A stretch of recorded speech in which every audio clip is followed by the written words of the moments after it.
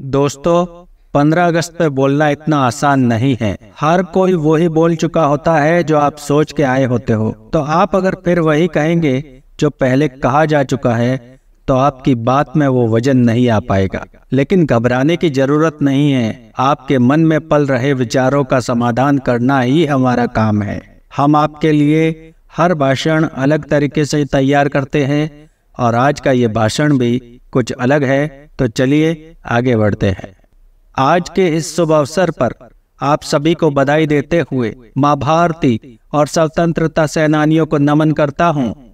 आज के इस टेक्नोलॉजी युग में हर कोई जानता है कि हम आज का दिन क्यों मना रहे हैं, लेकिन हमारे वीरों और उनके अद्भुत बलिदानों को आज याद करने का दिन है, जो सिर्फ़ दिल के भावों से ही बया हो सकता है। कुछ फूल अर्पित कर देने से या नारेबाजी से देशभक्ति पैदा नहीं होती। वो उस इंसान में भी हो सकती है जो पीछे खामोश खड़ा है, जिसे ढंग से बोलना भी नहीं आता, लेकिन वो उसके आचरण में झलकती है। कल जब आप देखोगे तो ये तिरंगा जो आज आसमान में लहरा रहा है, उसका तुम्हें कल अपमान होते दिखेगा।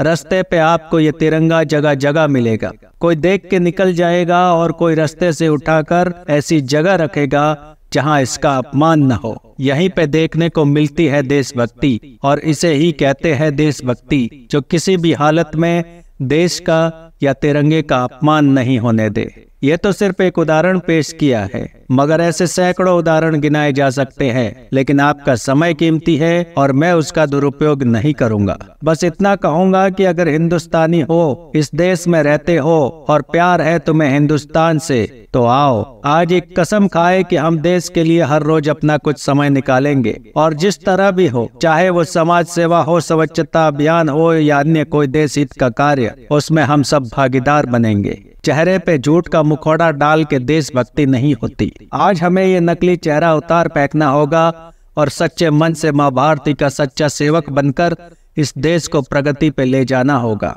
हमारा कर्तव्य बनता है कि जिस धरती पे हम रहते हैं, उसे प्यार करें, उसकी रक्षा और उन्नति का वचन ले।